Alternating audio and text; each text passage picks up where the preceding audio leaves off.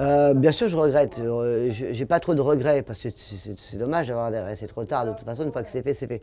J'ai fait des bêtises que je regrette, c'est sûr. J'ai fait deux, trois trucs dans ma vie que je suis pas fier d'avoir fait. Mais par contre, euh, on revient un peu à la première question. Le, fait d'avoir eu des, parents assez open et qui ont été toujours là pour, sans juger le fait, la, taille de mes bêtises, etc. C'est ce qui a pu me, me, remettre sur les rails et euh, redémarrer. Je suis reparti, dans ma vie, deux, trois fois, je suis reparti à zéro. J'ai fait une connerie, je suis arrivé à Hong Kong. Euh, à Hong Kong, j'ai fait un peu, euh, j'ai fait un truc, je suis parti, j'étais suspendu. Il a fallu que je reparte à zéro. À zéro. Et c'était pas évident, il a fallu que je repasse par Macao parce qu'Hong Kong c'était terminé.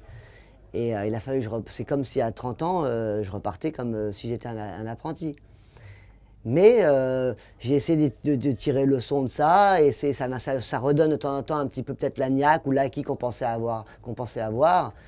Et euh, c'est un métier où rien n'est acquis. Hein. Et, puis le, fait de. C'était un, nouveau challenge. De toute façon, j'avais pas le choix. Hein. C'était ça ou euh, voilà, qu'est-ce que je voilà. Donc il fallait repartir, il fallait réaccélérer.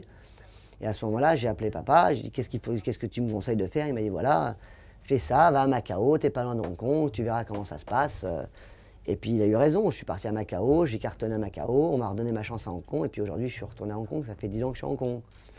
Mais c'est sûr que personnellement, je n'ai pas de regrets, puisque je, suis retourné euh, peut-être à un niveau encore plus haut quand j'étais quand je suis arrivé à Hong Kong. Donc ça m'a servi. Mais c'est sûr que sur le papier, c'est pas joli. D'accord? Pour des gens normaux, c'est sûr que ça va pas, ça sera pas bien. Mais pour moi, je ne regrette pas. Puisque bon, bah, j'ai fait une connerie. Mais cette connerie-là m'a permis de, de, pouvoir essayer de me dépasser, de, de voir, de, de, voir êter mes amis, tout simplement. Puisque euh, quand tout va bien, tu as toujours une ribambelle de gens autour de toi. Puis c'est là, quand tu es dans les moments un peu plus difficiles, que tu t'aperçois qu'il euh, n'y a, plus, a plus beaucoup de personnes. Et au moins, les autres sont partis, mais les vrais sont restés. Et là, ça, déjà, déjà ça, c'était une bonne chose, quelque part. Et puis après, euh, ça a fait du mal à. ça, personnellement, ça m'a fait du mal, oui, mais sur un, court moment. Mais ça me faisait surtout du mal pour les gens qui, m'ont soutenu. Qui sont comme mes parents, ma patronne. C'est ça qui me faisait du mal. Les vertémères, les. Je, je me sentais mal à l'aise, quoi. Je les avais, j'aurais fait de la peine, c'était, pas, pas beau. Donc j'avais pas le choix. Euh, la seule façon de pouvoir euh, revenir, c'était de, se ressaisir et puis de rebondir.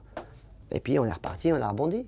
Donc comme quoi, euh, il y a toujours, même dans le mauvais, c'est ce que mon père m'a toujours expliqué, même dans les, mauvaises choses, il y a toujours quelque chose à tirer de bon.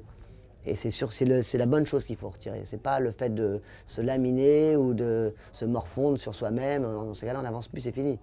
Non, il faut regarder devant, rester focus, et puis, et puis voilà, et puis c'est parti. Hein. Et puis bon, après, euh, il faut un petit facteur chance aussi. Mais il faut du travail et petit à petit, c'est reparti. Et puis les gens, ils oublient. Même si les Français oublient beaucoup moins vite que les autres endroits au monde. Mais euh, ça, je m'en fous, puisque je me sens plus vraiment français, donc euh, c'est pas gênant.